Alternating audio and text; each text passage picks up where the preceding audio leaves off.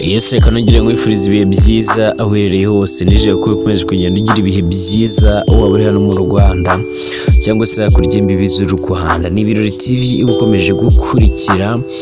Natwe tuba turi ready kukugezaho amakuru agiye atandukanye ari gutrendinga hirya no hino mu isi ariko tukwibutsa niba ari ubwa mbere dusuye gukanda subscribe kugira ngo tuzajya ucikwa n'amakuru nk'aya ngaya cyangwa se n'ibiganiro nk'ibi ngibi tugenda tubagezaho umunsi ku munsi.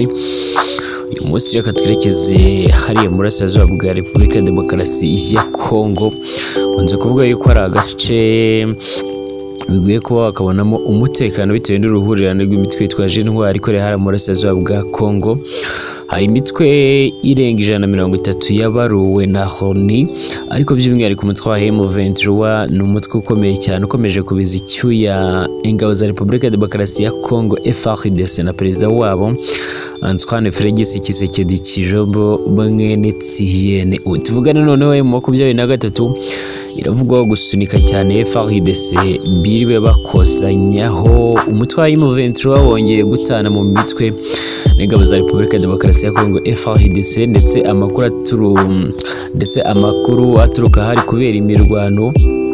Aravuga ko birinze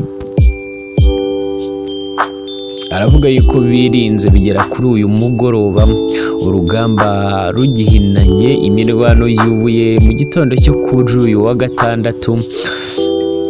Imirwano yubuye mu gitondo cyo kuri wa gatatu itariki ya cumi na kabiri mata umwaka na makumyabiri na gatatu aho impande zombi zishinjanya gushotorana. Iyo makumyabiri na gatatu ivuga ko ari FARDC yatangiye imirwano abashyigikiye FARDC bo abashyigikiye FARDC nabo bakavuga ko ari makumyabiri na gatatu yashotoye igisirikare cya leta. Iyi mirwano kandi yabereye mu gace ka Kivumba muri teritwari ya Nyiragongo. Ni agace gaherutse kurekurwa n'umuriro butwaye mu makumyabiri na gatatu ariko kakaba kari kigabijwe na FARDC ndetse n'imitwe isanzwe ifasha iki gisirikare. Amakuru ava i Kivumba yageze kuri Rwanda Turbine dukesha iyi nkuru avuga ko byageze ku gicamunsi cyo kuri uyu wa gatatu urugamba rugihinanye. Uwatanze amakuru yagize ati urugamba ruracyakomeye intare za sarambwe zikomeje kwitwara neza zisubiza inyuma ubufatanye bwa guverinoma. Ziba zibaganisha kuri antene eshatu werekeza n'ubundi mu mujyi wa Goma.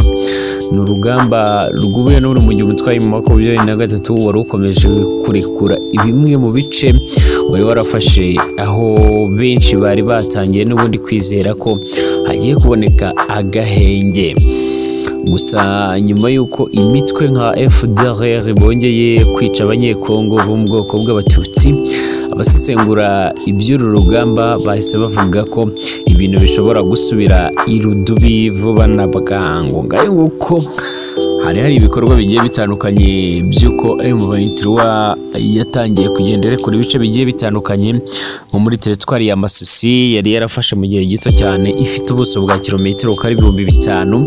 Yari yararekuye umujyi wa Bunagana yafashe umwaka ushize uyu mujyi wa Bunagana uri ku mupaka uhuza EDC n'igihugu cya Uganda aho abaturage benshi bari batuye kuri uyu mupaka bahunze M23 itangira kuhagenzura ndetse ishyiraho n'uburyo bushyashya bwo gusoresha kuri uyu mupaka kugira ngo ibashe kuzajya ibona uburyo yuzuza inshingano. Ibi bice byose rero yamaze kubitanga ariko nanone isigara ishinza FARDC ko ibice yafashe bikomeje kwigarurirwa n'indi mitwe igiye itandukanye aho kugira ngo ingabo z'akarere ka Afurika y'Iburasirazuba zize zigenzure utu duce yari yarafashe nk'uko n'ubundi biri mu masezerano. Nyuma yo gutaka gutyo cyangwa gushinja FARDC gutyo tuvugana bongeye batana mu mitwe cyane ejo kuwa gatatu ibintu ntabwo byari byoroshye.